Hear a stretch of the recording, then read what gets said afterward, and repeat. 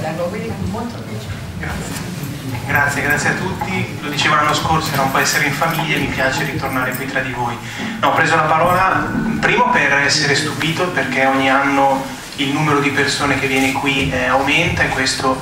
è proprio quello che diceva Sergio, lavorare quotidianamente per far passare i temi della pace. Ringrazio anche la nutrita delegazione di Manzaghesi che c'è oggi che hanno sfidato diciamo, la,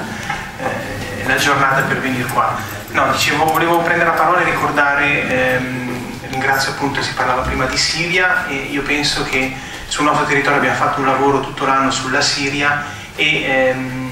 mi corre l'obbligo di ricordare che abbiamo tre persone, oggi due erano alle cronache, due ragazze che non se ne fregano ma sono andate in Siria proprio per da un lato capire com'era la situazione cercare di eh, dare una mano, che sono appunto Vanessa e Greta, che sono nelle mani probabilmente di una banda di, eh,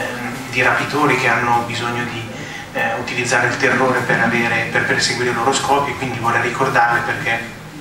tra l'altro sono della nostra zona, una, della Bergamasca, una del Varesotto e quindi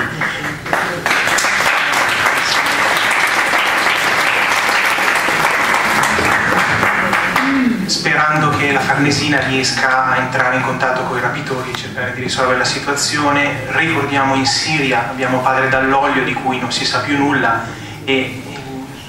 ricordarlo spesso aiuta a tenere in vita la sua testimonianza dei 30 anni che ha fatto in Siria proprio dalla parte dei poveri e di chi aveva bisogno e che dalla Siria scappava. Ricordo sempre che, eh, e si parlava prima della schiavitù, uno dei mali peggiori, una schiavitù, io pensavo venendo qui, è la schiavitù dell'assuefazione. Vediamo ogni sera immagini dalla Siria, adesso sempre di meno, vediamo immagini di guerra, siamo assuefatti, è normale quasi la guerra.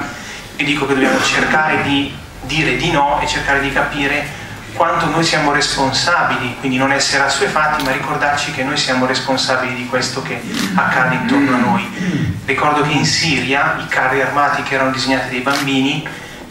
sono passati da qui, sono passati dall'Italia, c'è stata una grossa commessa che è arrivata negli anni 90 in Italia e ha favorito un sacco di lavoratori italiani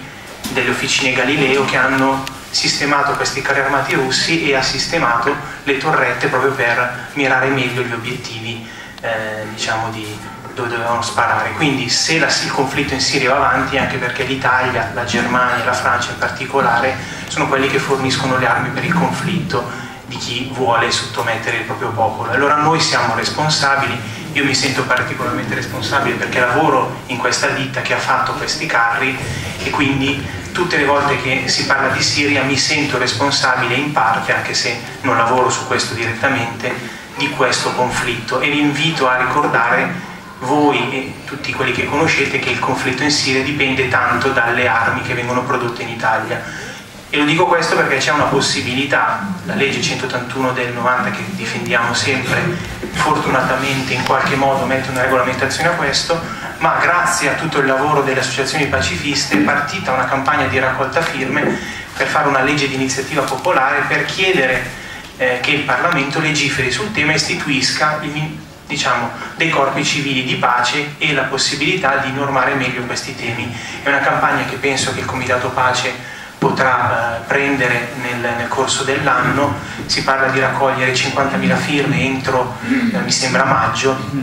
E quindi come amministrazioni se vogliamo far andare avanti questi temi basta portare eh, la delibera in, in giunta, in consiglio, a seconda di come si vuole e far sì che nei nostri comuni si possano raccogliere le firme per istituire questi corpi civili di pace in Italia. E c'è tutta la, la modulistica che spiega come si fa e come sostenere questa campagna. Perché il modo migliore per non fare la guerra e quindi per fare la pace è non avere armi da dare ai contendenti, se non le vendiamo si riduce il, diciamo, il, il pericolo di avere la guerra. Grazie a tutti e buon 2015.